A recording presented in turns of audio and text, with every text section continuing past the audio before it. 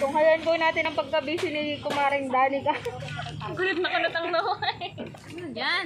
Ay. Sabi ko, may may seminar. Oo. Sa seminar.